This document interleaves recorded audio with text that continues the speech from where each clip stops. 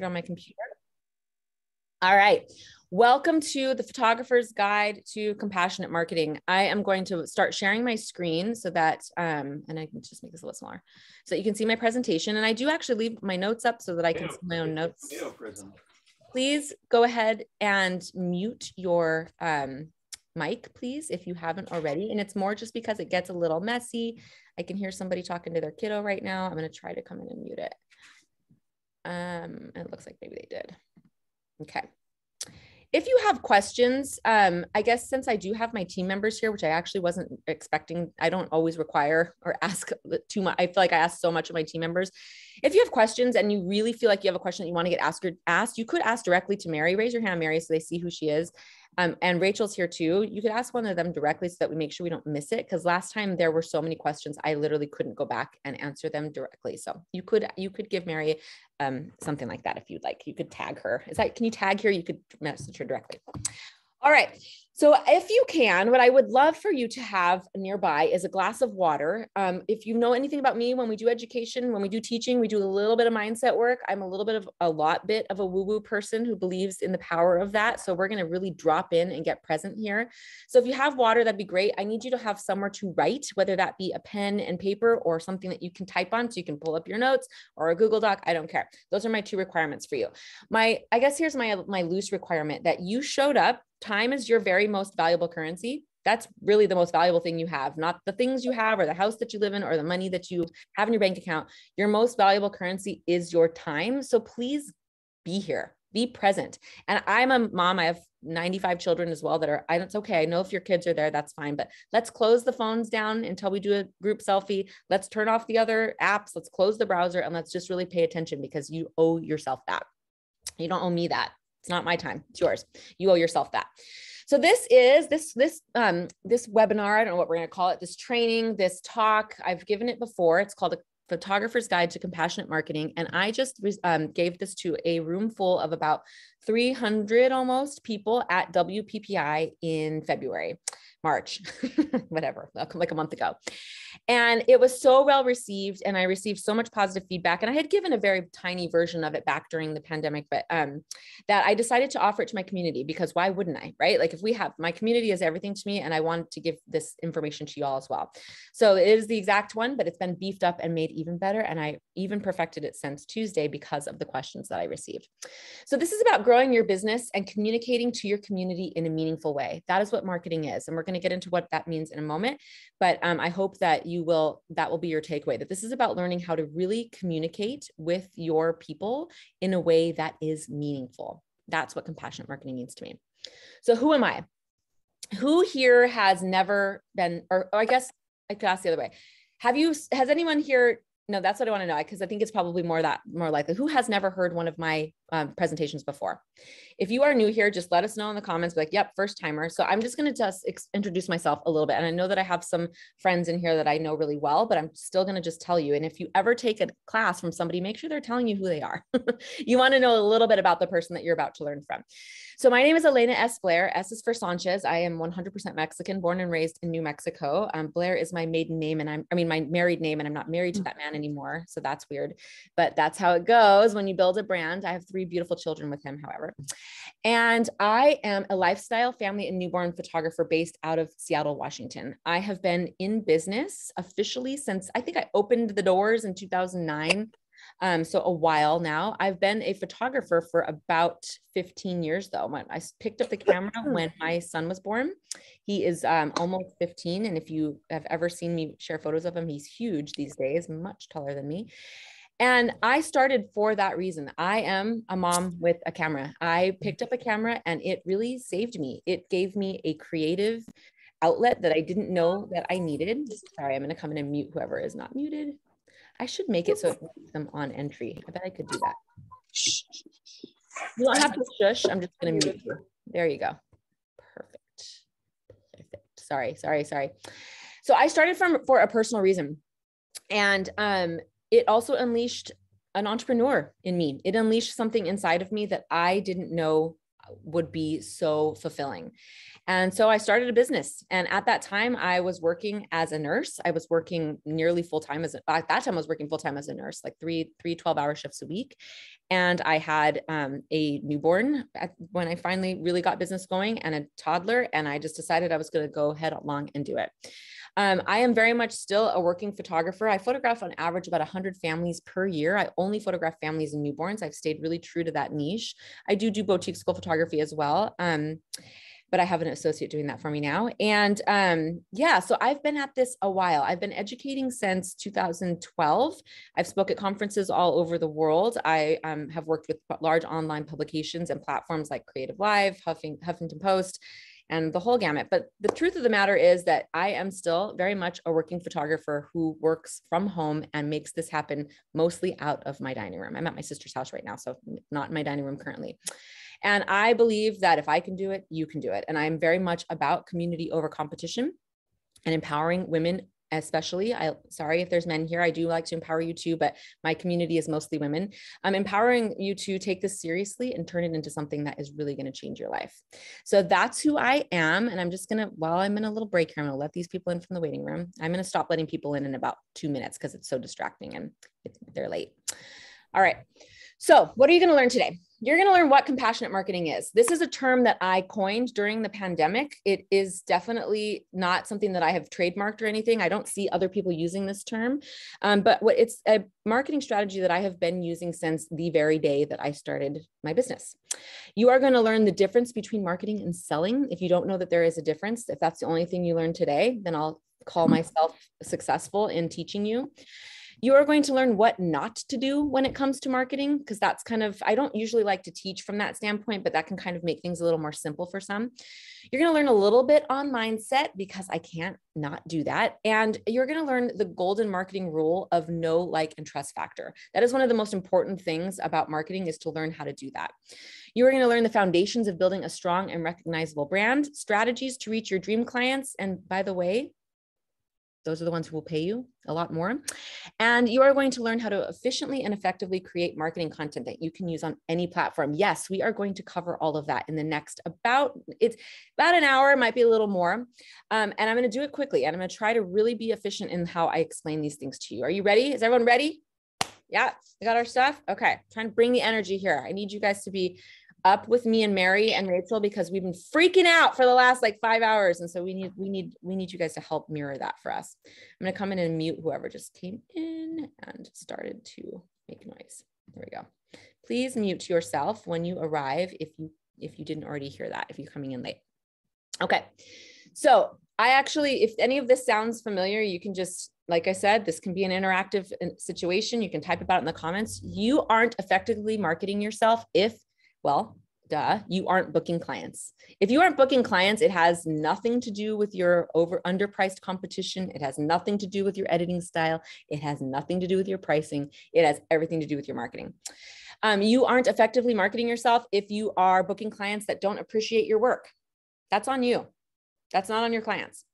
You are only getting price shoppers. You are feeling burnt out. If you're feeling burnt out, your marketing strategy is probably not working. If you are afraid to show up online, you are definitely not effectively marketing yourself or anywhere. Show up somewhere. We'll talk about that in a minute.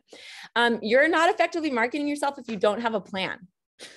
for a lot of this was me 100% in the beginning i just was like well i guess i'm a photographer now i'm going to create this amazing website i've learned all these things and now where are the clients going to come from um, i'm going to throw this noodle at this wall and i'm going to throw this noodle at this wall and i'm going to hope hope hope hope that it works that doesn't work just here to tell you it won't work it's not effective to market yourself in a way that's on trend if you're right now saying, okay, that person who has 300,000 followers and is trying to market themselves to other marketers is telling me that the only way to market myself is with Instagram Reels, you're probably just following a trend and don't actually have a strategy. Sure, Instagram Reels can be can be great for your business, but only doing that because you think that's the only way that works right now, that's called a trend. That's not mm. going to last. That's not a strategy. That's just trying out a trend. If you're copying somebody else's marketing strategy that you see online, it's not going to work. It's not effective. I'm not here today to tell you you do one, two, three, and that will make this happen for you because that's a lie. If I tell you exactly what I'm doing, that will not work for you. You have to make this in alignment with who you are and your brand. And so don't worry, we're going to get into that in a minute. If you're spending money on Facebook ads and you've never had any proper training, it is not an effective way to market yourself.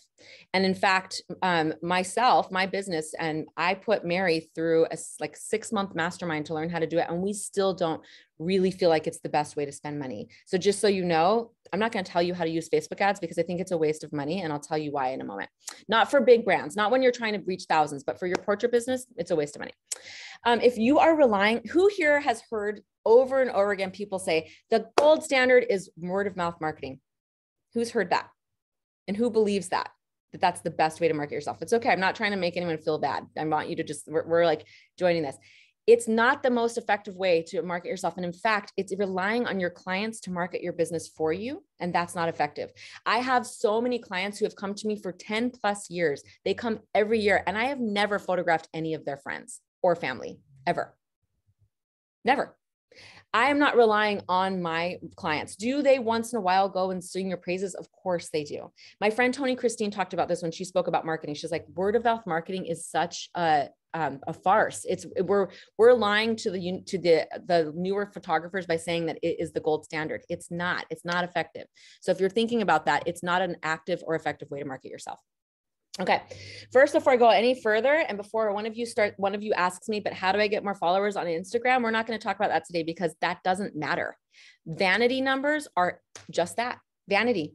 That's it they feel good. It feels good to have high numbers. And when you're starting to think about things like becoming an influential photographer and speaking at conferences, sure, that might make a little bit more difference. But today we're talking about marketing your photography business.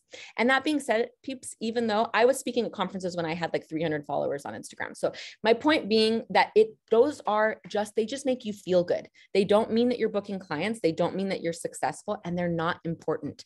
So when you think about numbers and you think about numbers for your business, it's actually a much smaller number A full-time photographer, if you did did one session per week, that'd be 52 um, sessions a year. That's actually a lot.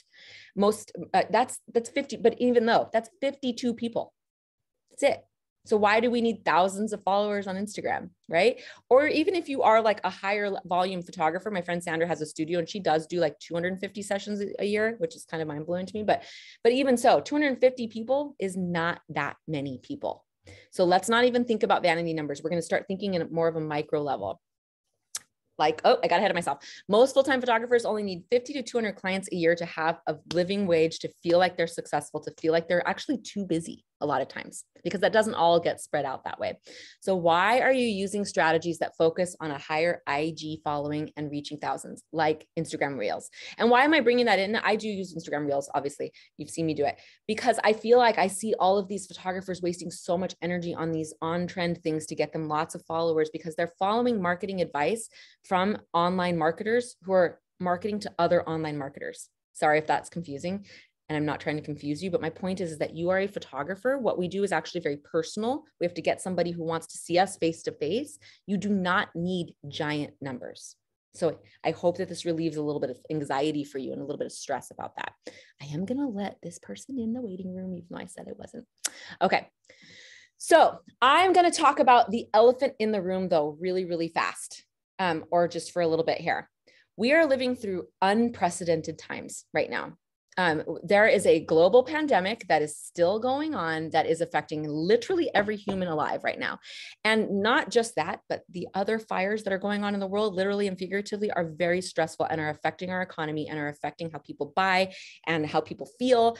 Um, I just listened to a podcast. I listened to The Daily, if any of you are, are fans, and it was saying that actually right now, people are making more money on the dollar. People have more money in their bank accounts, but their anxiety about money is higher than ever our insecurity as a humankind right now is higher than ever. So we are living through unprecedented times. We cannot talk about marketing or business without just putting that out there and understanding that things are a little weird right now, right? There, you guys, you guys feel me here with this? So we have to talk about that. So you might be feeling a little scared I am. Let's be real. Like, this is a scary time to be alive. You might be feeling a little bit defeated. I know that a, one of the things that I really hear commonly from women that are in my mastermind or women that I talk to uh, or just friends is that, you know, you had all this momentum and then 2020 hit and it was like, your business put went on pause. We very much followed the stay at home orders in my family and in my business. And we didn't do any shoots from the months of March through June, which is a huge hit.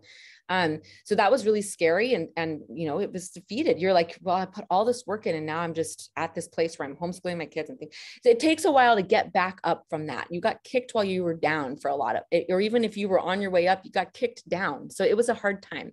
So you might feel like all your hard work was for nothing you might actually feel like people don't want to hear from you because there's so much going on in the world. Like, why would they care about your little photography business? And by the way, I'm speaking about myself. That was how I was thinking. Um, you might feel like you're never really going to be able to get things going. It's just, it's too hard. It's difficult. The, the, the climate in the world is weird. I'm not going to get things going. And you might actually just feel like you don't have time to prioritize your business right now because you got too much going on. You're here, so you're prioritizing it, but that might be something that you've been feeling and I just this is me getting into my woo woo my woo woo thing, but like stages of grief are real, and it's it's okay to take the time that you need to grieve. So if you have had a really tough couple of years, give yourself the grace of time. Understand that this might take a little longer than it did two years ago. You may be building a business upstream a little bit right now, or you may be building your mental health back from a place that was uh, you know, speaking for myself here, like talk about anxiety and depression that just creeped its reared its ugly head during all of the stuff that was going on. So it's okay if you are uh, needing to do things on on your own schedule, if things are moving a little bit slower, if you're still grieving, just allow yourself that time. All right. So with that heavy, heavy little thing that I just said, I want everybody to sort of, um, we're going to drop in. That's what I call this. We're going to get even more present right now. And before we get into the meat of all of the stuff that we're about to talk about. So I want everyone to take a really deep breath. Exhale. And you might realize that that's the first time you took a deep breath all day. And if you have that glass of water with you, I want you to take a sip.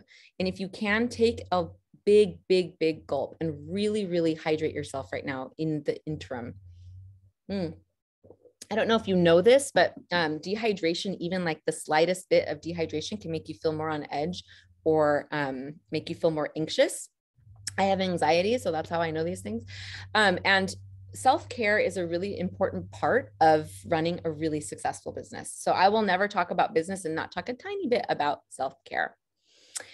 And I just want you to know that what you do for your business is very personal and that who you are as a person should be integrated into all of the things that you are doing as a business person. So remember that you're going to receive advice from me, you're going to receive advice from the internet, whoever that is on the internet, and you have to take what you get and make it your own and make it work for you. Okay.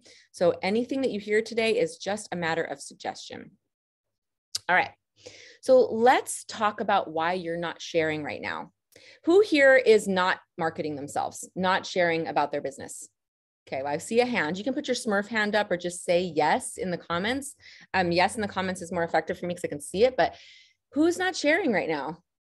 I will I will do I have women in my in my high level group coaching program who we get we kick their marketing into high gear where I'm looking at all of their stuff and they're like I don't know why this isn't working and they haven't posted on Instagram in 3 months they haven't sent an email ever to anybody they haven't um, shared on Facebook or wherever they market themselves, anywhere. And they're wondering why it's not working. And it's like, it's not a build it and they will come situation. You have to actually market yourself.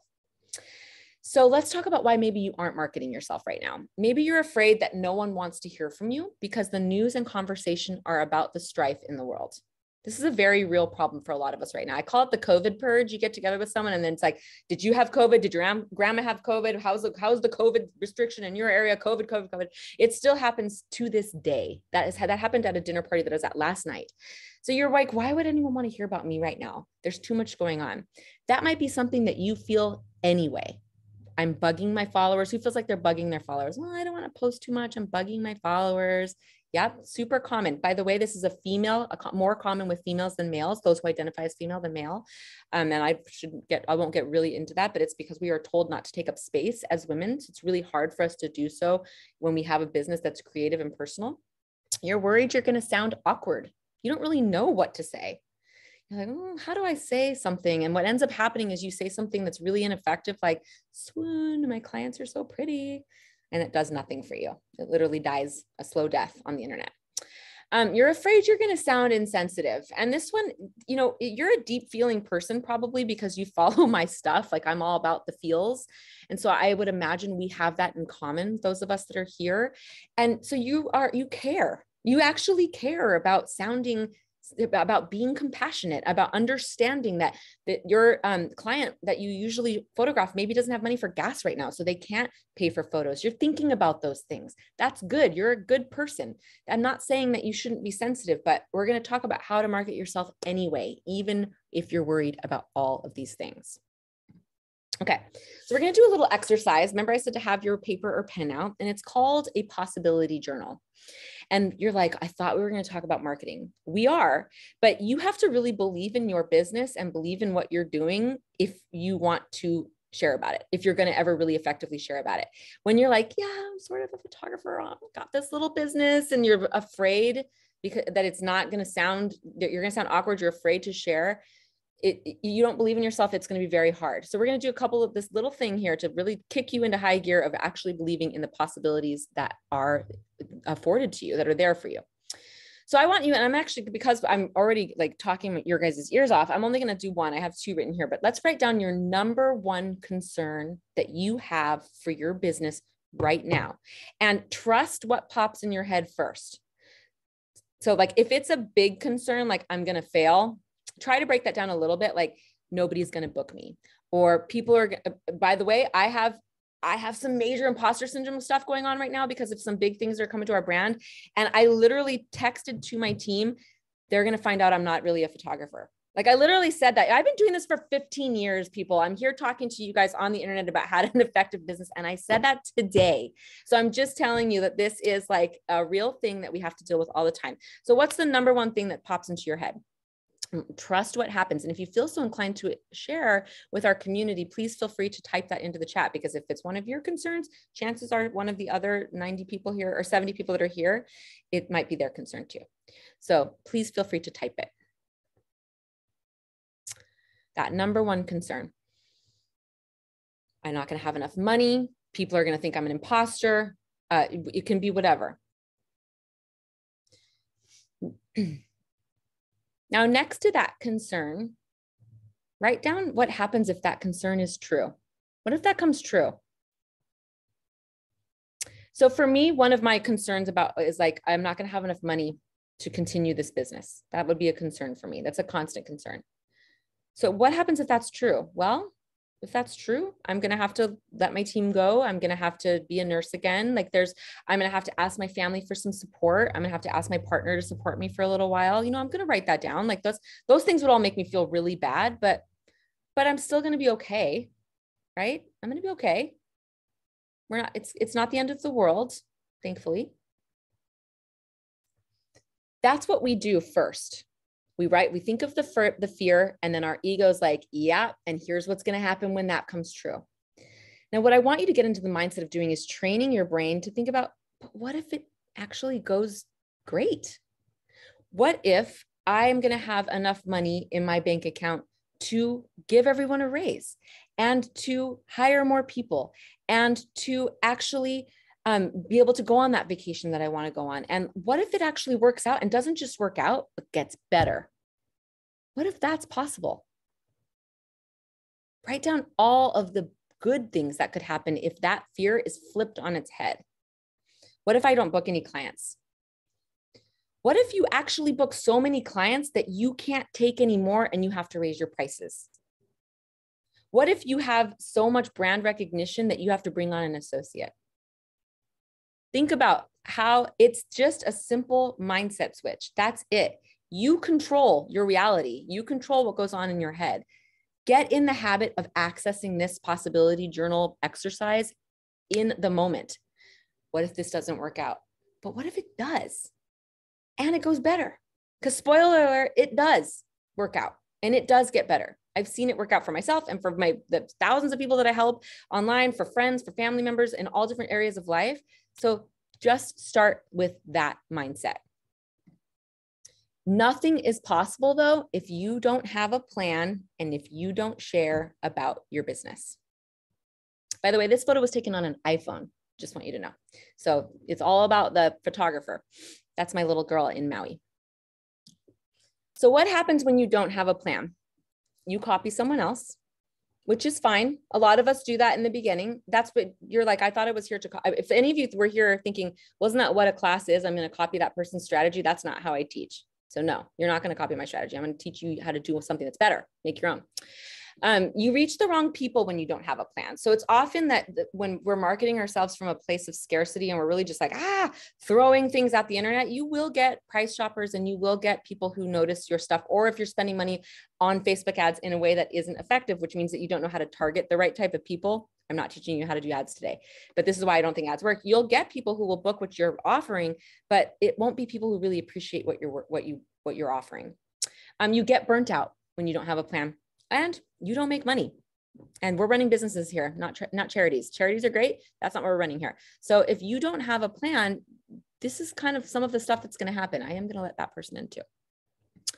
So a good marketing plan starts with connection. It starts with connecting. What in, when you're marketing yourself you're not marketing to robots you're marketing to people. You're marketing to people.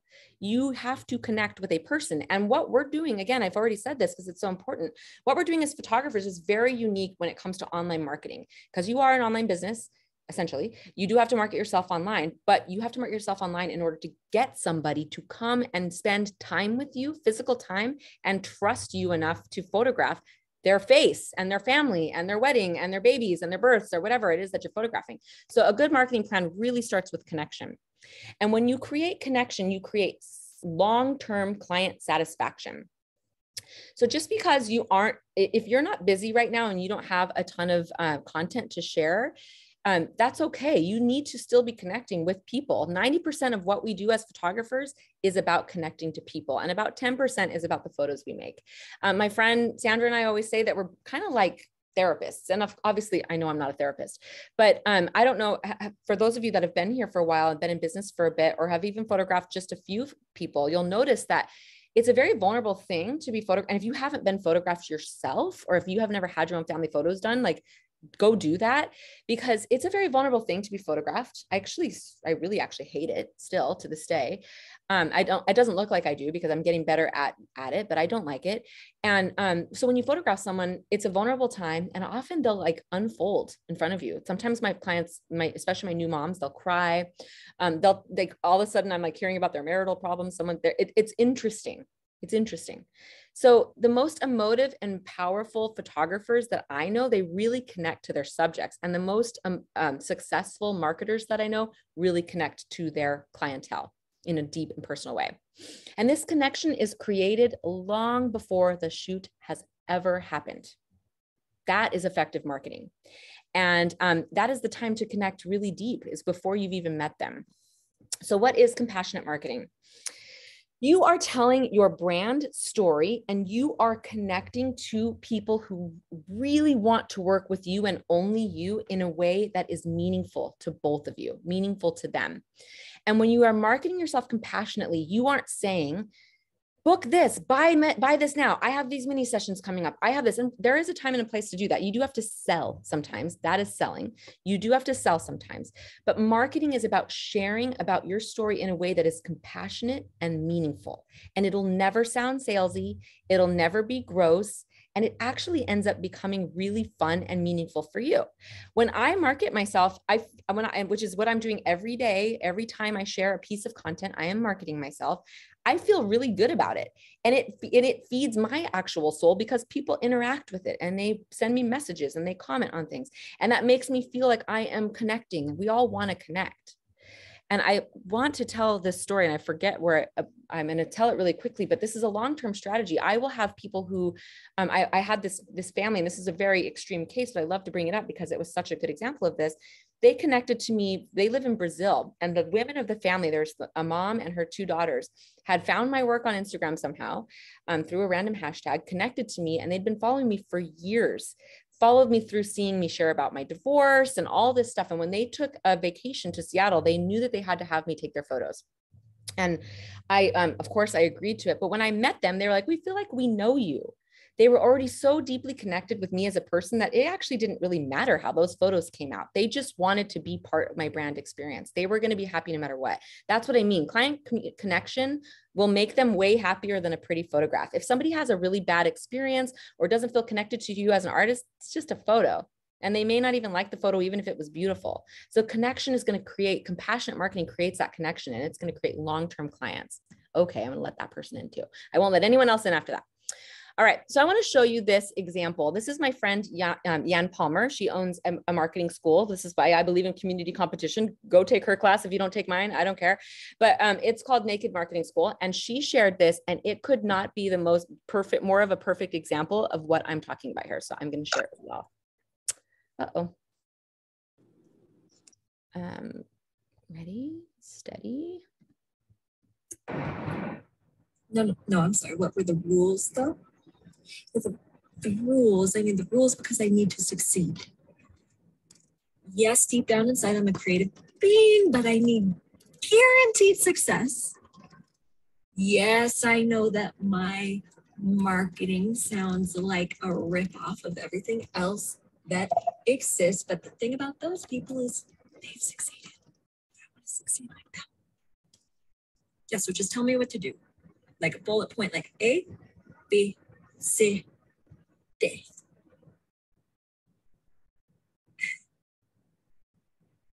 You don't want that.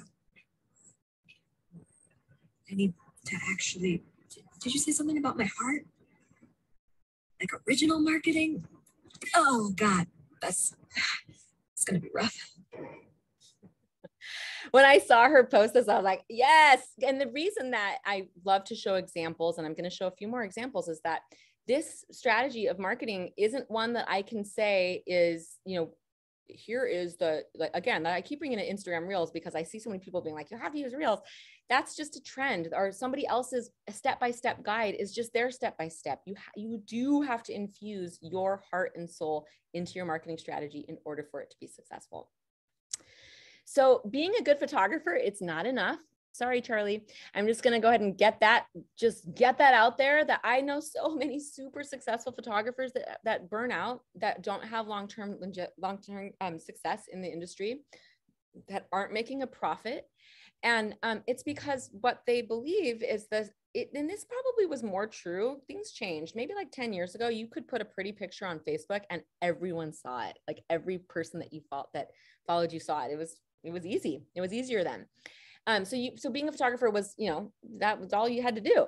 You do need to be a good photographer, obviously. Don't get me wrong. You have to have the expertise to, to start charging, you know, higher prices and all of that. But it's not enough. You have to have a super strong brand. You have to have a very, very consistent and clear marketing strategy. That is actually more effective. Haven't you? We've all seen the photographers and i'm not knocking on anybody who's newer in the industry because by the way we all weren't as good as we are now five years ago. It takes time to get better. We should all be improving every day.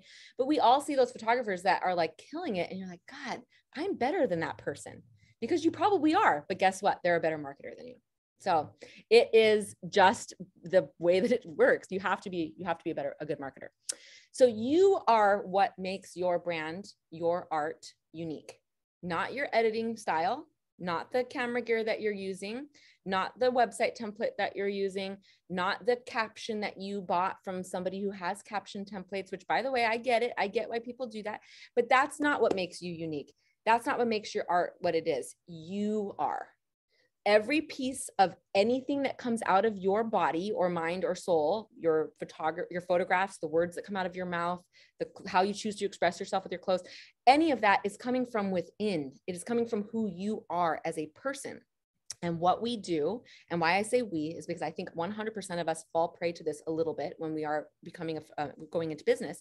Is we start this really awesome thing which is becoming an artist and making it into something amazing. We're sharing our art with the world. That is personal. You start for a personal reason. And then we change what we do because we think we must do something different in order to make money. So we're like, well, I am a photographer, but I want to photograph weddings and this is what's trendy right now. So this is what brides are going to want. So I better start doing it like that. Or I, uh, I've, I did this over and over again. That's why I know to tell, to talk about it. Um, even just eight years ago, my daughter's about to be eight years old. I was still photographing newborns in a very, very stiff and posed way with bean bags and props and all the stuff, because I thought that was how I had to photograph newborns in order to make money. I don't do that anymore. I had a huge revelation when she was born. And the truth is, is that when you, sh- when you are uh, doing that, you just yeah, you're going to burn out. You are going to become one of the many. You aren't going to stand out and you are going to be just doing what's on trend. And that will not bring you long term success. If you can really get back into why you do what you do and sharing that in a way that is meaningful, that's what's going to set you apart. That's when you start being able to command top dollar. That's when you start doing all of the things that you want to do. You are your superpower. So, compassionate marketing delivers relevant, useful information to your ideal client in a way that focuses on serving them before selling to them. You can screenshot this if you want, take a photo of it. I don't care. This is like, this is it. This is what compassionate marketing is. I wish it was clear as it clear. This is a little bit muddy, and so we're going to get into it. But compassionate marketing is about making whatever it is that you make that somebody actually cares about that somebody that and, and knowing who that how to connect to that person. You want to make useful information. Yes it is a saturated industry. It's fine though. It's fine. You only need 50 to 200 people. Or 20 20 people feels full-time to a lot of people. If you're a wedding photographer 50 would make you put you in your grave. You only need like 10 to be full-time. I'm exaggerating. Maybe you need 20 but my point being you don't need that many people. So we need to get more specific. We need to think more on a micro level marketing is not selling. Who didn't know this? I remember when I realized this fact and my mind was blown. I was like, what?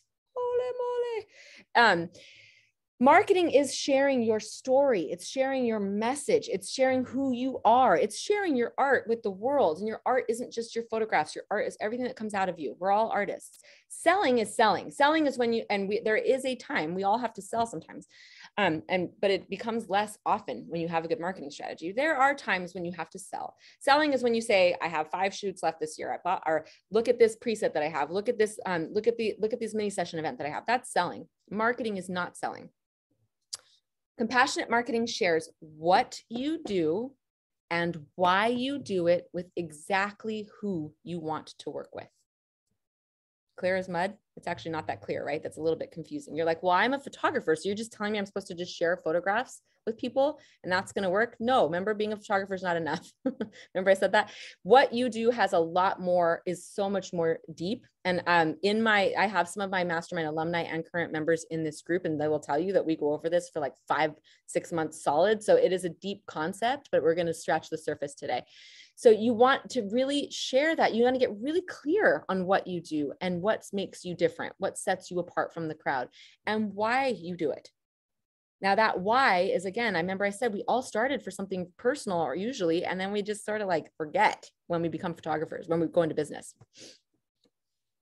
Compassionate marketing is sharing and storytelling and serving it's so much more meaningful when you are able to connect on a deeper level with people in a way that helps them, that serves them. And I'm going to show you some examples of what I mean by this. This strategy is long term and will work now during a crisis, which we're still in the pandemic, peeps, even though it's kind of all of a sudden it's like, wait, did that happen? It still happened. It's still affecting our everyday lives. Um, and it'll work after. How do I know?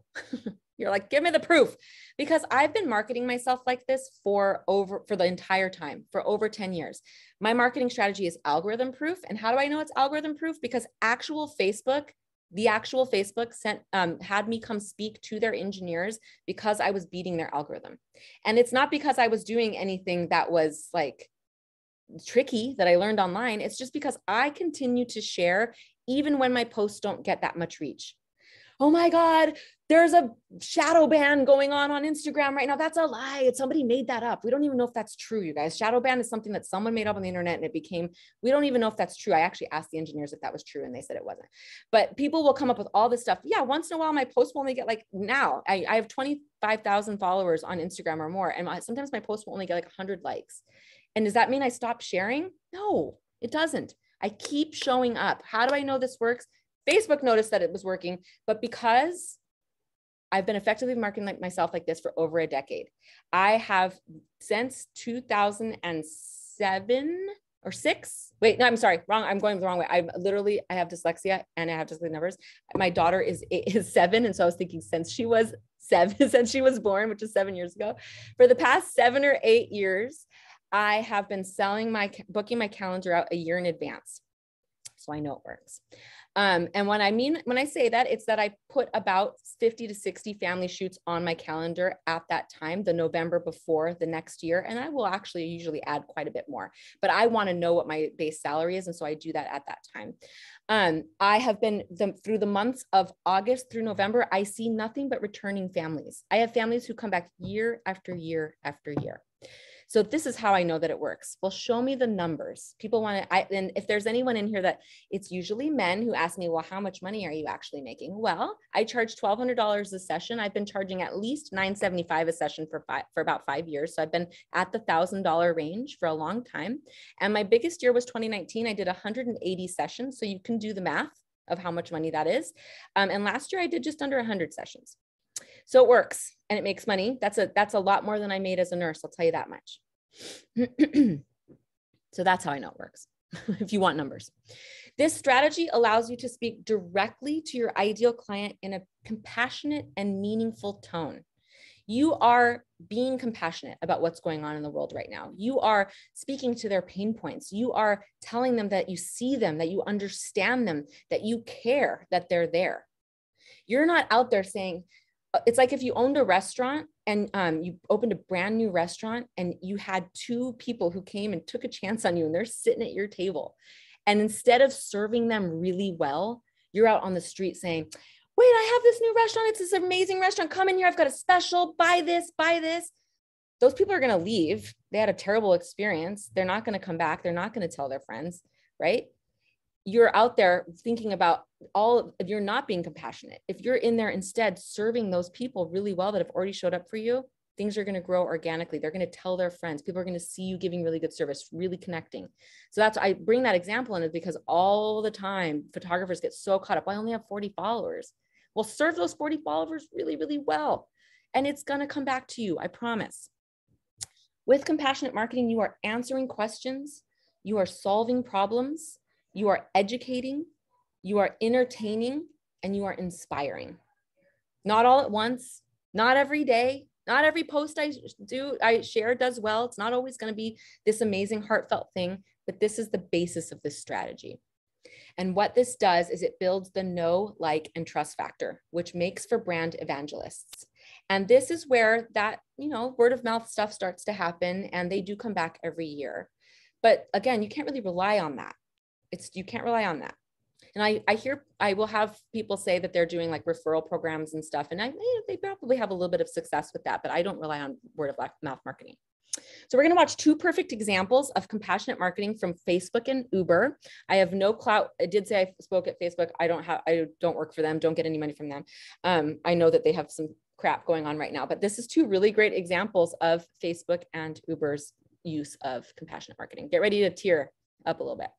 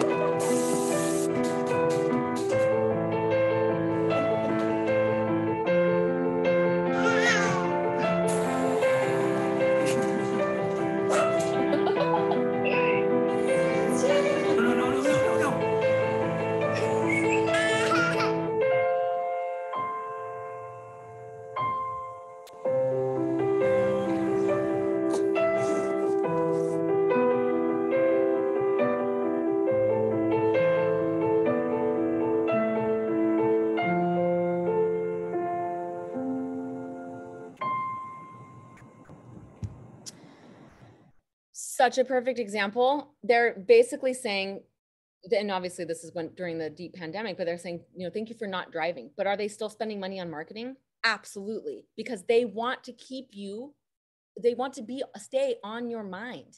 They want to be front and center on your mind. And here's another example from Facebook that I'm going to share.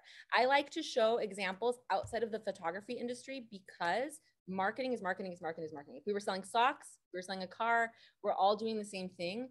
And those who do it effectively know that. So that's why I like to share outside of the photography industry.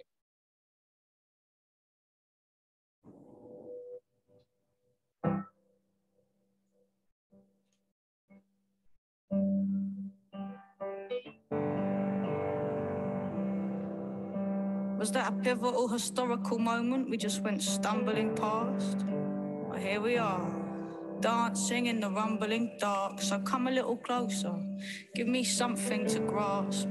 Give me your beautiful, crumbling heart. We're working every dread day that is given us. Feeling like the person people meet really isn't us. Like we're gonna buckle underneath the trouble. Like any minute now, the struggle's gonna finish us. And then we smile at all our friends. Even when I'm weak and I'm breaking, I stand weeping at the train station. Cause I can see your faces. There is so much peace to be found in people's faces.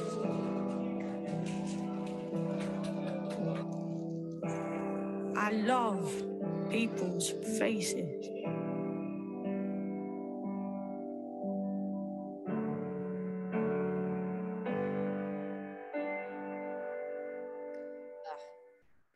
One gets me every time because that text are you are we going to be okay? Like i remember sending that to my sister. It was freaking hard what we went through. But my point here is that these pe- these companies they showed up and people remember who shows up. And i did exactly that during the covid crisis. We closed the business down. We did zero shoots from the months of march through june which is when things start really ramping up for me. And i had zero cancel. They all rescheduled. Was 2020's fall like my craziest fall ever? Absolutely. But I did it with such a grateful heart, right? Because, like, yes, these people like showed up for my business. I had people who paid for their shoot, paid in full, even though they, we weren't able to do it for months because they wanted to support my small business. I showed up. My education platform, I doubled down on free content. I gave away so much free content during that time and 2020 was also my biggest year for my it was my biggest year for photography and it was my biggest year for my education content because i showed up and people remember who shows up. I was not showing up saying buy this. I need th- i need you to buy this. Sell i'm selling this. I'm selling this. I'm selling this. I showed up with relevant useful meaningful content just like uber just did and just like facebook just did and just like you're going to do with your brand and business a successful marketer serves, serves, serves, and then sells. They do not say, book me, book me, book me. You do have to do that sometimes, obviously, but you don't, it's the ratio is much higher or, or on the other end, it's flipped. so you need to build a brand over a business. A brand is more important than a business. And you're like, oh, what are you talking about, Elena? You're making things so complicated launching a business is very excited, right? And you want to make money and you want to make money quickly, which is good. I get that. I want you to make money too. I'm all about abundance. I want I like to talk about money. I like talking about making money. I like talking about helping you make money. I want you to make money. But what happens when you go into business is that you suddenly lose sight of why you started and who you are. And instead of sharing that, why you started and who you are, you're constantly talking about your offer. That's it. That's all you're talking about. And so, yeah, you do start to sound salesy and you do start to overwhelm your audience. And you yourself start to hate what you're saying because you're saying it all the time and it's all selling. Um, but if you forget to build a foundation for your brand, you will probably burn out and you may not have long term success. A brand is the heart and soul, it's the personality, it's the actual human behind the business. And Simon Sinek says, I, this is not me, he says, people buy what you're, they buy why you're doing what you're doing, not what you're selling. And that is the truth. So solid brands, they build this know, like, and trust factor instead of focusing on what they're selling. You know, a company that does this really, really well is Apple. And um, I bring, I love to talk about Apple. If you run my talk on Tuesday, it's because I am such an Apple, like I, I have everything Apple. And I'll never forget when they their AirPods first came out. It was around Christmas time and had this beautiful ad where it was these two people dancing in the street. They were sharing the AirPods. They were dancing. It was Christmas time. It was romantic. It was beautiful. I had to have those AirPods. I know not, I knew nothing about them. I didn't actually, and by the way, if they wanted to share, they, are amazing. They're you I, I do podcast recordings with them. The noise cancellation is amazing. There's all these great things about the AirPod, but they were sharing about their brand. They were sharing about their why, their lifestyle, and I wanted to be part of it. And that is exactly what you have to do as a marketer for your photography business. Okay, so does any of this sound familiar? You're frustrated by clients who don't value what you do this is one of the first things you see people complain about in the Facebook groups. Oh my gosh, my clients are so mad, are so difficult. They don't like this and that. You'll never see me complain about my clients. And actually, in my community, you rarely see people complaining about their clients because we're heartfelt, less like this type of people. If your clients aren't happy with your stuff, that's on you. You didn't market yourself correctly. You attracted somebody who didn't know what they were going to get. And that's okay. You learn from those experiences. We get a few slip through every year where you're like, whoa, that was a bad fit. So that happens. If you feel like it's impossible to stand out in a saturated industry, does that sound familiar? Who sound who feels that way? No? Good, good. Okay. You're concerned about your lower price competition. If you're worried about that, I'm going to just release you from that stress. It doesn't matter. The girl down the street who's charging $150 and the family that went to them would never pay $1,000 for photos ever. They're different people or they're at a time in their life where they need that cheaper photographer. Great. That's amazing. That's a beautiful thing because there was a time when you charged $150 and you needed people to take that. So that's no big deal. There's enough for all of us. We all are here in this beautiful community and we can grow together. So just if you're worried about your underpriced competition, I'm here to tell you it doesn't matter. Marketing, does it seem hard and confusing you don't know where to start? Yeah. Okay. Again, community over competition is a way of life for me. This is my best friend, Chloe. She used to live in Seattle. We literally used to compete for the exact same clients. My best friend, Sandra, lives 20, uh, 40 blocks, We used to live 40 blocks away. I've moved a little further, but whatever. We're in the same area. We're both family photographers marketing for the same. We both have multiple six figure portrait businesses in Seattle. Mary is here in, and, and Rachel, my team members are photographers in Seattle. we literally work with each other, compete for each other's business. It doesn't matter. You are only one person. You can only do so many shoots. So stop worrying about your competition. Trust me, community is way more, way better place to spend your energy. So if you're only talking about what you're selling, that's a very short-term strategy and it works for a minute. And that's why I say it's short-term. So like for instance, right now we are marketing mini sessions. We're talking about them a lot. We're going to be able to get a couple of people in the door that want those mini sessions. So that's, it's going to work for that. And you do have to do that sometimes, but that's only you're only able to snatch the people that need what you're offering at that moment when you're doing that. And so that's that, that's fine. They're they're there they'll buy. But a long-term strategy is when you are always connecting with your audience in a way that gets them to become brand evangelists. I have clients um, who will pee on a stick and become pregnant. They've never had a baby before and they email me immediately I've been following you for years. I need you to photograph my baby. I love the style of newborn photography that you have. I love the way you, I love the way you talk about, you know, X, Y, Z, blah, blah, blah. They have been following me for years. If I was just like, I have these three newborn shoots this week, it's only going to take, you know, capture those three people that are pregnant and need a photographer at that time you have to do that sometimes my, i will get a little bit into that in a minute but my point is, is that when you have a long-term strategy you are bringing in people that are part of your community and that when they're ready and when they have when you when they need what you have to offer you're the person that they think of. A strong brand is the key to a strong business and the key to a strong marketing plan.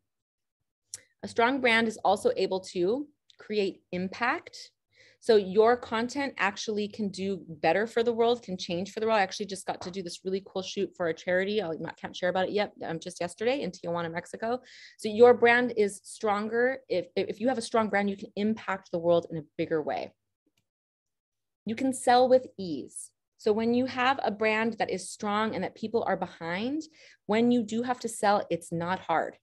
So like I said, when we send that email in November, yeah, it's a sales email but I have to send one and it books me for the rest of the year. Now that takes you. I'm not saying that's going to happen to you overnight, but my but it gets there. You get there, and you can sell with ease when you have a strong brand. You can pivot. You may not be uh, wanting to be um, a photographer of the genre that you're photographing right now forever. You might change a little bit.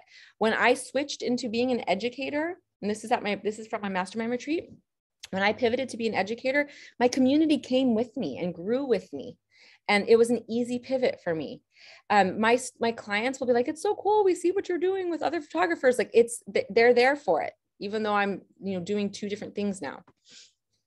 So, how do you create a strong brand? Now, again, I have a six month program or it's five months that really goes into all of this. We could talk about it for five months, is my point, but I'm going to try and give you a little crash course today. So, let's connect deeply to your why. Sharing your why, what you do, should always be the heart of your marketing and business strategy. You're your own boss, so you can be really good to yourself. Stay true to that why.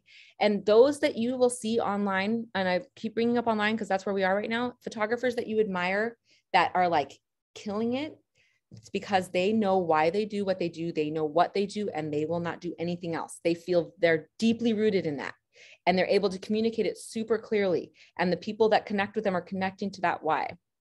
They're deeply rooted in it. So think about it. I want, um, we don't have time to journal about this right now, but I want you to really connect with that. Why did you start this? And let me just give you a little news flash. I am not a photographer because I like photography. I'm not. I'm not going to be, I, I upgrade my gear like, you know, as minimally as possible. I like shoot with just a couple of lenses. I don't own a flash. I don't own a reflector. I don't have a studio. Don't care about that stuff. I'm a photographer because I love people. I love connecting with people. I am a people person. I hate being alone. I am I like parties. I'm the one who's going to talk you into the five extra drinks that you shouldn't have had. I want to know about your baby's like your birth story. I want to know all about I I am a deeply connected person. That's why I'm a photographer. I want to capture a little piece of humanity with my camera. It is my way of communicating that connection that that connection that I love with people with the world. And that's just a little piece of my why. So what's yours? Because it's going to be different than mine. There should be no divide between your personal and commissioned work. Your work should be a lot more about that why and how you feel than how it looks. Because I'm, I always get this question. Well, I photograph, um, I photograph landscapes and I also photograph babies. So do I need two different Instagrams? And I'm, I've got my shining example alumni here, Margie, who I actually talked about you on Tuesday. Margie is a genius at this where she photo she does these um these uh, uh, uh these sessions in Napa Valley where she's showcasing the harvest of the grapes and she's showcasing the um, the farmers and like the hard work that they're doing. And she can have this beautiful picture of a farmer with like dirt in his nails holding the earth in his hands next to a newborn and you know it came from margie because it came from the same place. So it's not about your the genres. And when you're when you're newer, it's it's easier to divide it that way. As you get further along, it's easier to shoot from this place, from the heart. But it's about who you are as an artist. And so I'm going to show you examples of my work so that you see what I'm talking about. So these are, this is a personal photo, you know, personal work. A lot of people will have a major divide between their personal and commissioned work. That's a, that you're doing yourself and your brand a disservice when that's the case. So this is my, um, this is my personal work. These are my three kids. This is a super old photo of them. They're babies here. And um, this was taken at like 9 p.m. with overhead light in my living room. Um, but that's so me. That's so me and my family right there. This is a perfect lit, perfectly lit golden hour session in a field, family, family of shoot, obviously. This is a newborn um, lifestyle newborn shot. And why I'm showing this is I remember this session to this day. It was I walked in there and there was like a cave. And so we did the entire shoot on this corner of this bed. And it was beautiful. This is a fine art school portrait shoot. So is a school photo. This is a fresh 48 photo in a hospital room they were getting ready to go home, which is why she's wearing pants. But and this is a maternity photo. So my point being, these are all different genres and they feel the same. Why do they feel the same? Because they came from me. And because when I pick up my camera, I am always using that same, it's always coming from that same place in my soul, heart. All right, but how do I reach my people? You're telling me all this stuff. You're telling me how to do these things. Okay. Well, I'm going to give you some some skills. I want you to I know we're like getting all heartfelt. I want you to have some actual skills. So a good marketer really goes out and grabs their people. They don't really wait for them to come to them per se. But you have to create do this by creating content that people actually care about. Ooh, what happened? so let's start connecting your ideal to your ideal client in a meaningful, compassionate tone. But do I have to be a content making machine, Elena? No, you don't. You don't have to do shoots all the time. I only do a few shoots a month. So don't worry, you don't have to be doing shoots constantly. You can always reuse old content. And in fact, I recommend it. And i'm talked to you about how to do that with the written portion, but the actual photos that you use in your marketing can be super old. They can, you can be using stuff that you did five years ago. Nobody cares. Nobody's noticing. Nobody pays attention. I reuse photos that I love all the time. But what if I'm realizing that my work isn't in alignment with my why, Elena? You just told me all this stuff and I realized, oh, I got to start over. I need more work to share.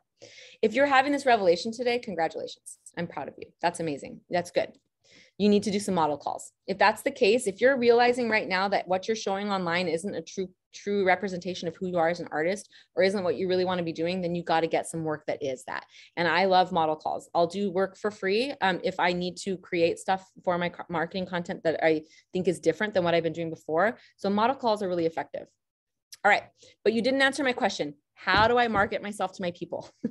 I'm getting there vulnerability is a superpower. Now, I do feel like it's getting kind of overused right now. Like people are purging their vulnerability online. So, you know, you have to find a balance. What I mean by this, though, is that sharing a piece of who you are and why you do what you do is going to really impact your marketing. It is going to connect deeper to people. It's going to make people feel like they want to be part of your brand story. It is really, really powerful. And the next question people ask me when I say that as well, I'm a very private person here to tell you that you can be extremely personal yet private. And when, um, because I'm doing this talk this week, I actually purposefully did a personal yet private post about my child two days ago to explain this. So you can go look on Instagram right now. It was about me, it's a picture of me, my son, to explain this concept. So I actually believe that my children's lives are not my story to tell and that they shouldn't be part of my brand. And people are like, when I say that, they're like, what? wait a minute, I feel like you talk about your kids all the time. I don't. I talk about my experience with motherhood because I am extremely private. We have a lot of reasons for my in my family to be very very private. And you will never see my kids in my stories. I'm not making their life a reality TV show on my stories. When I share about my kids, it's not sharing about them really at all. It's sharing about me and my experience with motherhood because I feel okay with sharing that. So you can be extremely personal yet private.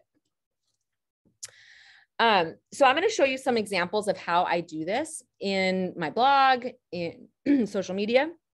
And I want you to know that when you're sharing, so remember I said you're going to be educating, you're going to be connecting, you're going to be inspiring. You have to, you want to create content online that people actually want to read.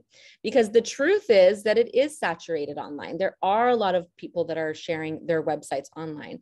And the bots, the algorithms, they do want to know that that content is relevant. And how that happens is with engagement, with people actually caring about it. They actually want to read it. Um, and I'm not going to get into that anymore because that's uh, would take us six months to talk about, but this is how you do that. So here's an example of this. This is on my education site. I am sharing about my um, body. I'm sharing, and you don't have to do that. Not everyone it feels comfortable that, but I'm sharing about my um, experience with I had a, a, tummy tuck. I had my uh, diastasis recti shared um, closed up last year, and I chose to share that online. You may not that might be too per- private for you. Fine, it's okay. But I'm sharing this just to give you an example that this is one of my highest hit blog posts of last year on my education site, and I'm and you can um I'll here I'll put the I'll put the link here in your comments so that if you'd like to read it, you can. And um, hold on, everyone why is there not an everyone tab thing there? That's so weird. Oh, there it is. I can't read apparently. So why am I sharing this with you? I want you to see an example of this, that why does this connect? Well, this connects with my ideal client who's a woman um, who might be feeling some of the things that I'm feeling about my body, who might be feeling some, I almost every client, I, every client I work with is a mother. So she might understand the, the intense um, changes that go on with your body that affect you emotionally. And this might make her realize, like, oh, yeah, like I understand who this person is as a person. I want to work with her. Same for my education platform, right? It's like they're like, oh, this is a woman who understands me, who understands what I'm going through. I and that makes them connect to me as a person. So I'm giving you an example of that. Where do I fit in the body positivity movement? Um, this is my one of my highest hit blog posts on my photography website and it is called it's um, that it's okay to want more out of life than being a mom. I wrote this years ago and when i wrote it it was like it went viral and it still gets a ton of hits online. Why? Because it connects. It connects to my clients.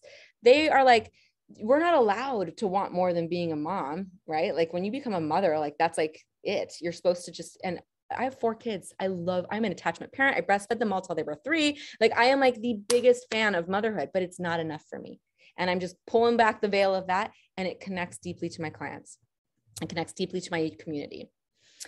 Um, here is people are craving human connection. So I'm sharing with you this strategy in, in long form. This is one that I posted um, a while back, a couple weeks ago, and it was, uh, uh it went it did really well on the algorithm. It got a lot of likes, it got a lot of comments, it got a lot of traction. And I'm talking about how I stand proud for all the moms with cameras in our industry. And this connects to my education platform, but it also connects with my, my mamas that are following me. Because I talk about how I'm obsessed with my kids, how I love children, but how I'm really passionate about this photography thing. And I'm going to bring that passion to your session. Um, this is my an International Women's Day post that also did really well. And it was talking about, it doesn't say, hey, book me for your family photos, but it does, right? Like, I'm just trying to explain that to you. Like, when people see this, they see, like, oh, this is a, a woman who cares about all the different aspects of being a mother and who cares all about how I feel as a woman. I want to work with that person. Um, here's another one. This is a newborn one that um, is sharing really a little bit more directly what my why is, that they don't, I don't believe that babies should be placed, placed in unnatural poses. They don't need to be asleep for their session. Um, and this is connecting to my ideal client, but also connecting to my students who wanna learn how to do this. I'm not talking, uh, I'm not talking about that, Elena. Show me some photography content. Okay. I had to answer that my question for you. So here's one. Here's a way that I do this on my portrait business. You don't have to share about your body if you don't want to. I'm just giving an extreme examples here. But here's some a way that you can educate. Here's a way that your content is relevant. Here's a way that you're confident. You're you're speaking to your client's pain points.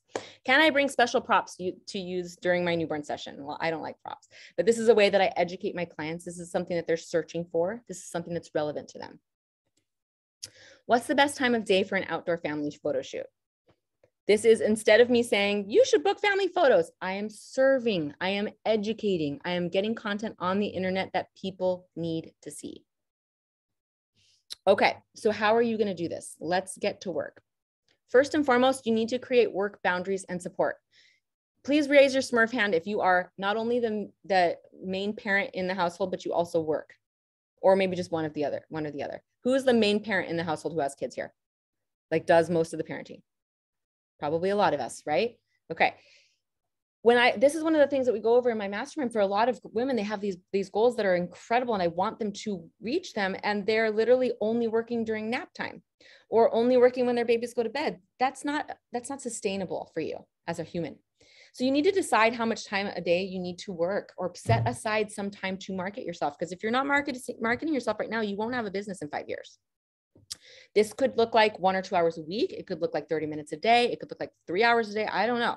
But what do you need? Make sure you're giving yourself that create a quiet workspace. Now, I've definitely been the mom that, you know, was working into the middle of the night while nursing a baby, but that really wasn't effective. I was about to burn out. I, to this day, when my kids are home, it's really stressful for me. I have a hard time working when they're all over, and I have to tell them, all right, I need two hours. I need two hours of quiet time to get the work done that I have to get done. And then I will do something with you. We will go hang out or whatever create that space for yourself express to your household whoever is in your household that you're going to need this time to work each day and if you have little tiny ones you need help you need some help so if you don't have another help, adult in your household to help because i've been a single mom before i know what that's like it's okay to use that screen time wisely maybe an hour it's okay don't feel guilty about that I'm here to tell you, I am an attachment parent. I was a co op mom. I believe I was like, no screen time, but once in a while, I needed it because I was paying the bills with this job. If you aren't familiar with batch working, this is such an, a, a hack for time management. And that means that you get everything done that you need to get done that is a certain task and then don't do er, that you only that you designate sorry it means that you designate certain days to certain tasks and you do nothing else until those tasks are done. So why are we talking about this with marketing? Well you probably need a day where you market your business and you do that by scheduling. So here's a sample schedule. Monday maybe you're going to work on blog and website. Tuesday email list growth and schedule emails. Wednesday schedule instagram posts. Thursday work on systems to streamline your business i'm just giving an example of what this might look like what it looks like for you will be very different it's up to you what do you need to get done? But make a schedule. Start treating this like an actual business. Self education is going to be how you reach your goals too. And you're here right now giving me a lot of time. So make sure that you keep that on your plate as well. I am a member of a mastermind right now as a student. Um, I give myself a lot of self education. I believe that it's really important, but even just 30 minutes a week, maybe a walk with a podcast, I don't know, but make sure you're prioritizing yourself. So make sure you can email your clients. Now, I'm not going to get super into this. I realize that I kind of confused Tuesday's talk with this. So I'm going to keep it really basic. Don't panic. You don't need to like have an email list with funnels and all of the things that you're hearing from like the super entrepreneurs, super, super entrepreneurs online. But I do want you to have a way to reach your clients. So just make sure that you're gathering those emails and that you can reach them directly because we don't own our Instagram following. We don't own we don't own our Facebook following. We don't own anything but our email list actually. So please make sure that you can email your clients because when you need to get a hold of them, like when the pandemic hit and I needed to talk to them about rescheduling, I or I wanted to talk about to future clients, email is the best way to do that. So just make sure this is on your radar. Okay, let's start with a few blog posts. This is how you're going to create your content. And if you think you don't like blogging, I'm sorry. This is the fastest, best way to reach, uh, to build search engine optimization. And it's a great way to create a piece of content that you can reuse over and over again. So when I write these big, long form things like this, or even like an Instagram post, I can reuse this these words that came out of my body out of my head, I can reuse that in a blog post if I want to. I can reuse that in Pinterest. I can reuse that on Facebook by kind of refashioning it. I can reuse, I could turn this into a blog post. So my point is that when you write one piece of content, you can reuse it all over the place. In fact, I think that you should. And a blog is the best is a nice long piece of content that you can reuse over and over again. So when you're writing a blog post, you want to make sure that the title is searchable.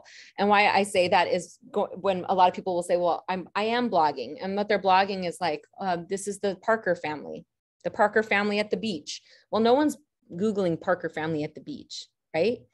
But what they might be Googling, because in these blog posts that I shared with you up here, for example, hold on, I'm going to come back up to this for a second.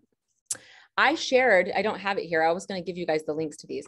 I share an entire newborn session's worth of photos there, but I didn't say, you know, so and so baby because no one's Googling that. Are people Googling, can I use props during a newborn shoot? Should I use props during newborn shoot? Props, newborn shoot. Those are things that people are Googling. Yes. So I made this into something relevant and I made it into something searchable. Oops, I didn't mean to pull that up. Hold on. Um, I want to share this with you guys in the chat comes. Uh, if it ever comes up. So I'll share these, these blog posts with you. So you want to make sure that you have searchable titles when you are put, posting the blog post. Um, you want you want to you include photos in any way that you like, just like what I just said. So this is always really blows people's mind. They're like they think that when they're blogging about something and you're a photographer that you have to talk about that session. You don't. The photos can have nothing to do with what you're talking about.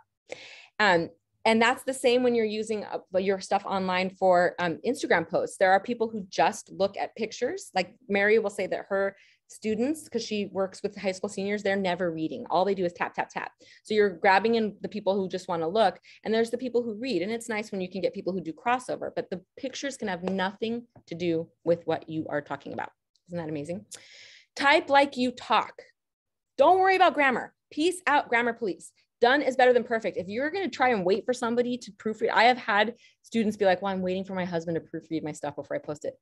You guys, A, don't let your husband do that. But B, I'm just kidding. You can let him if you want to. But don't worry about it. You are not writing a novel. You're writing from the heart. So just type like you talk. Things have changed. If you're writing a novel, great, get a proofreader. But that's going to really stop you from actually sharing type in digestible chunks. Um, you want to make sure, even on Instagram, that you're typing in digestible chunks rather than a big paragraph because uh, some people like to skim, and so that helps those skimmers. I hate blogging, Elena. What am I supposed to be blogging about? Think of the top six questions that your clients have asked or should ask. And now you have six blog posts. Now you have six months worth of blog posts.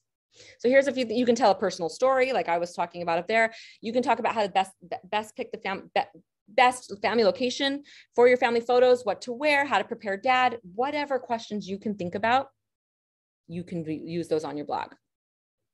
Schedule your blog posts. This is about batch working again. Schedule. One time on a flight home from New York to Seattle, it was six hours. I scheduled an entire year's worth of blog posts because I only was blogging like once a month. Schedule.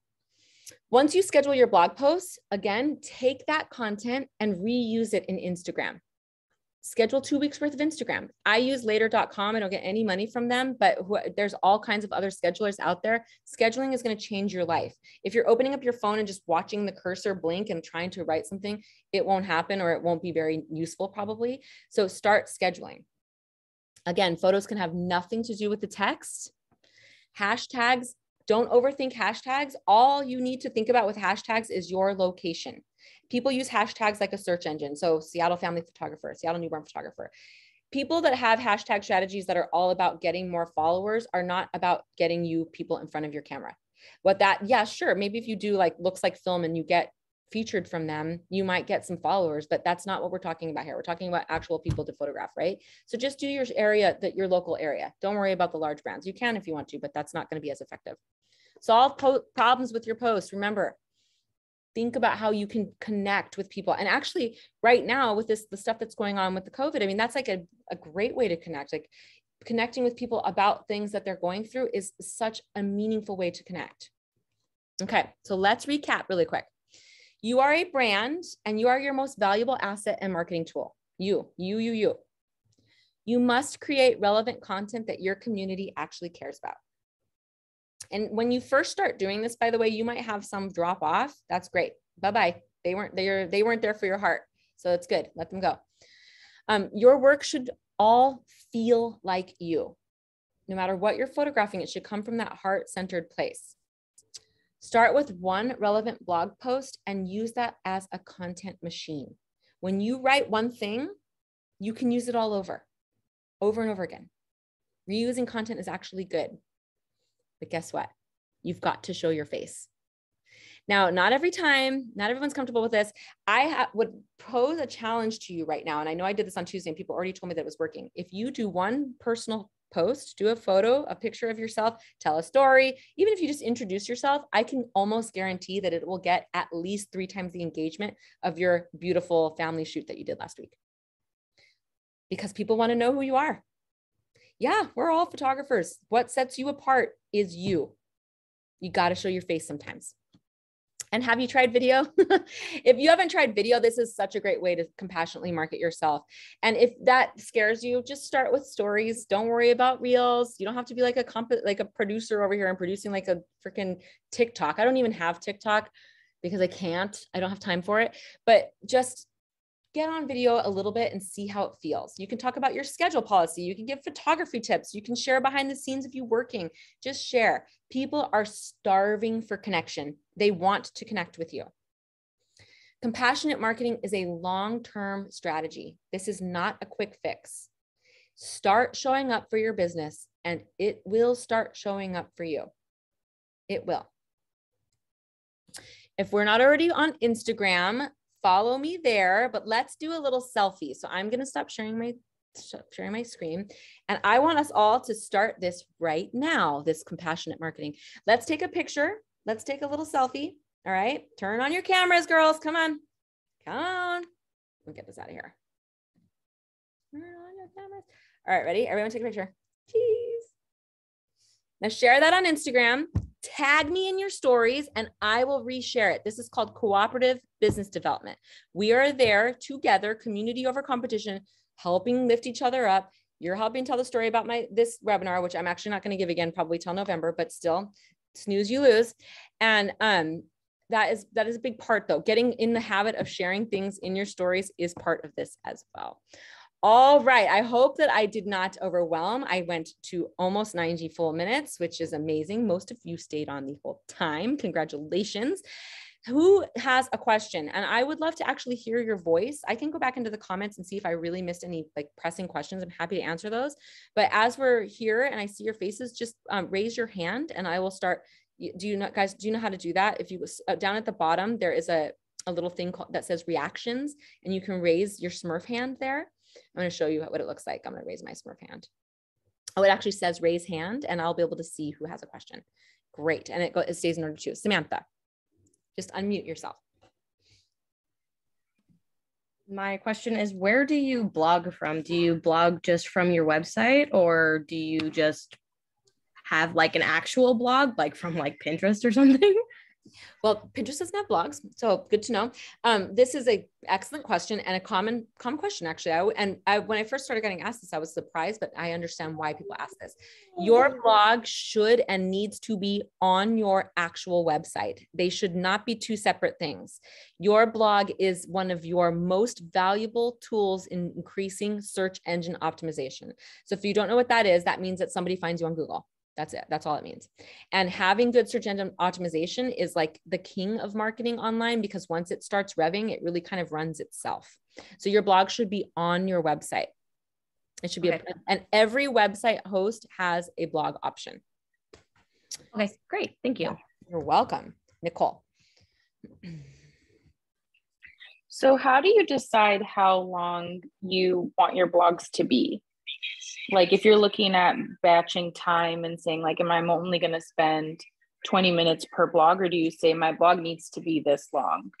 I don't put that kind of rule on it. This has um this has changed this this advice will change from time to time.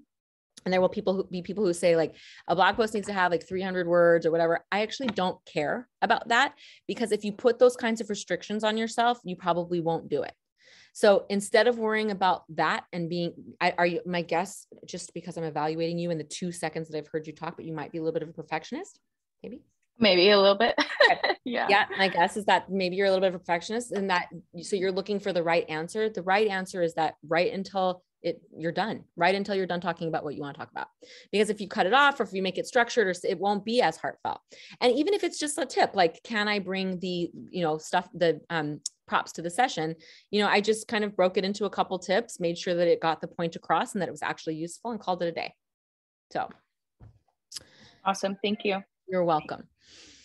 Anyone else um, I saw, saw that Mary shared. We have a five to six month, five month ma- high level mastermind program that um, is about to launch again. We are about to open up applications on May 1st. There are some that got in on early enrollment. We're about to open up applications. If you're interested, make sure you get on the wait list.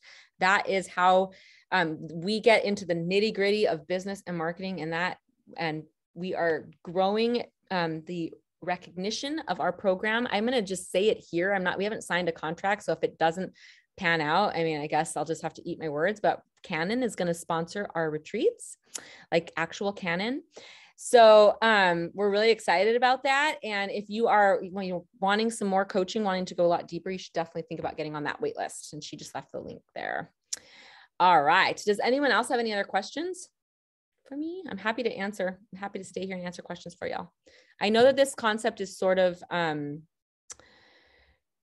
intense, and I think that uh, that's why I love Jan Jan's video because people are like, "Well, just tell me how to do it." I'm like, "I'm going to tell you how to do it," but it's not. It's it's kind of like when you see someone who's lost a lot of weight, and you're like, what's the secret? And you want them to be like, oh, I just drank this one green smoothie and now I have abs of steel. And you're like, yes, I'm going to drink that green smoothie. No, it took them six to nine months of working out every single day, making daily choices that made that made their health better and their mindset better and all of that. There aren't quick fixes to long-term success in anything. Um, and and that's what this is. This is a long-term strategy and it does work and it does bring long-term success. Yes, Samantha. Um, well, I'm super excited about that announcement you just made if it pans out because that's so cool. Um, and the question I had is I have a personal, um, you know, personal accounts for myself, Facebook and Instagram. Then I have a business accounts for the same platforms. Now, should I be sharing my business stuff on my personal page? Okay. Does that make a difference at all? So your yes, it does. So your um, and I've been trying to make this as concise this answer as possible. So I have an, a personal Instagram too that you can't find. It's like a weird name because I don't want people to find me on there. And my personal Instagram is where I post crappy iPhone photos of my children. And it's because of that privacy factor. I actually don't like my kids' lives, daily lives, to be anywhere public. I don't like people to know where we are in real time. Um, so that's part of why I keep mine personal. But my when you are in this mode of like, which one do I want? Your business profile, uh, wherever Facebook or Instagram needs to look professional. The photos need to be portfolio grade. Um, and but when we and we were just at a conference, Mary and I in um, March, no one asks for business cards anymore. Everyone asks for your Instagram account. I would say it's essential to being in business these days. Even if you hate Instagram, you kind of need at least one that's there. And um, so you're so when you if you're like personal and private, your private one might be where you keep like you are able to do the more subpar stuff like me instagram or um, iphone photos but your business one needs to look professional. It has to have a professional bio. It has to have a professional headshot. It needs to have professional photos 100% so if you aren't keeping the personal one professional then you should separate them Awesome. Thank you. I recommend it. Yeah, you're welcome. Anyone else? Anyone else? There's so many of you still here, so you must have questions. Don't be shy. You should, and a lot of you aren't showing your face, which is okay, but I want you to get a little more comfortable with showing your face too. No more questions? Well, if there aren't any more questions, I guess I could come. Um, is it okay to do, to, to do giveaways? I just saw somebody say, is it okay? First of all, anything's okay. There is no wrong or right answer. Like that, there is no wrong or right answer. With anything that you're doing to share about your business, it's your business. You get to do whatever you want. So don't ever take anything as gospel from me or anyone. Giveaways are great, a great way to bring brand awareness. Giveaways are a great way to bring people to your brand. Um, so sure, it's a great idea. What I have found with giveaways is that it does that and that only though. It doesn't usually bring me more bookings. It doesn't usually bring me high quality clients necessarily, like people that are going to stay forever, but it is a great way to bring brand awareness. So sure. Okay. Let me just like, there were a million questions how do I run a model call? I do my model calls um, on usually on my personal Facebook page actually, and I do not get any money from model calls. Uh, I the concept of asking models for money is new to me actually. Somebody just told me that at the conference I was at recently. They're like, "You don't make your models pay." I'm like, "No, they're doing me a favor." So I really feel like um, when I do model calls, I don't want them to pay. I want that to be the benefit that they get it for free for working using you know for me getting that to use for my portfolio. So you do make sure that they sign your model release though. you don't want that to happen, but um but prove me wrong. I I've there are people who are saying they're making money on their model calls. So if if you want to do that that's fine, but I don't. Uh, I'm going to go backwards here. I'm so glad this was helpful. Please make sure that you, if you found this helpful, then you really should make sure that you get on the mastermind waitlist because this is what we talk about. We get into the heart and soul of your business and we grow it from the inside out. Chelsea. Sorry, couldn't find the unmute button. Okay, speaking on model calls, because I'm in the process of kind of doing that right now. Do they, do you give your model call families the same end result as the other model call families? Like, do they get the same amount of photos if you do products and stuff? Like, what? Well, I wouldn't give them any products. I wouldn't give them any products because that costs me money. Um, but I, it's, I think you're overthinking it would be what I would say next. And I, um, I will just give them whatever I want. Like if, if you're at a newer stage in business and uh, in your journey and you don't, you're concerned that you won't be able to give 50 images or whatever, I would say model call, I'm going to give you 10, 10 images or whatever, whatever you want to do. Um, so it's totally up to you. I don't do it any different. I just, I give them you a full gallery and let them download it. What Okay, what I'm perfect. very clear on though, when you do a model call, if it's because you're changing something, so like when I was um when I went into the when I switched from being a pose newborn to lifestyle, I did like five model calls to get a few more lifestyle under my belt, and I made sure it was very clear what the style was going to be because you do want your models to be happy. They are a representation of your brand, so um like their experience is a reputation of your brand. So just make sure you're really clear on what they're going to get. People love free photos. It's not hard to get models. Thank you. You're welcome. Uh, I'm gonna roll up and go ahead and smurf hand it if you have another one, but. Oh, I'm sorry that you're fighting COVID. I just saw someone say that. I had, we had COVID in January. Let's see. I'm just looking to see if I missed anything. So, um, Elena, we have one down at the bottom about uh, posting on Instagram and using in the caption a call to action. Or should we just share things without asking our audience, you know, for a sell? So maybe the difference between a call to action and a and a sales pitch. um, you should always do a call to action, actually, and not. I, so the way, and I, I didn't get super into that because we could have talked about Instagram for an hour. We can talk about any of these subjects for an hour and a half, or three years. Um, Instagram is the, the way that the app works and the way that the algorithm works is that it wants their people to always stay on Instagram. So Instagram's call to action, uh, calls to action on Instagram that are trying to get people off are rarely very effective. Um, so people uh, like if you say go to link in bio or whatever, it rarely actually works. Just to be completely transparent with how people use the app and just think about how you use it. Right? It's like pretty rare that you jump off of Instagram. Um, but a call to action is a, is amazing and a great way to create engagement, and that is not by saying buy this. That's not a call to action. Saying buy this thing, well, I guess it is, but is selling something. A call to action would say, would be asking a question or raise your hand if you agree with me, or double tap if you think this is the truth, or whatever, or just creating a piece of content that is engaging, that they want to, like um, the one that I shared about. I want you to go see it because I did it as um, on purpose because I, it was in between these two days that I shared with my son and I the other day. I was sharing about my experience with motherhood. By the way, raising teenagers is no joke, man. They have like real life problems. And so I was sharing about that. Um, and I think I might have said, I don't know, but, but it inspired people to say, Oh, I know exactly what you're going through. Thank you for sharing that. So it was engagement. It was, in, it was a call to action in that, in a way that was engaging. So you, I think calls to action are great, but selling in Instagram, I rarely do because it's not really effective. I don't know. Sorry if that was not very clear. It might have been kind of all over the place. All right. Oh, good. Mary was asking, answering questions. Good. Um, anyone else have any questions? Thank you for answering them directly. Will people pay? Oh, that this is your your question. Good, good, good. Oh, I love all the vulnerability. Thank you, everyone, for for sharing that stuff. Okay. Well, if there aren't any other questions, we've been on quite a while, so I will let you go. Mary and I have had a very long day. Um, I do hope that I see all of your names on that wait list. We're going to open up applications May 1st.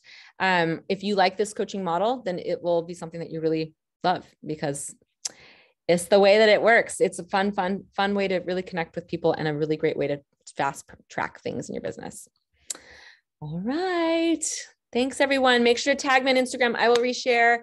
Um, if you sh- share a piece of content, I would love to see it too. Feel free to tag me if you have like a new vulnerable piece that you think you did in, uh, in response to this workshop. I would love to hear that as well. So thank you so much, everyone. It was so good seeing all of your faces.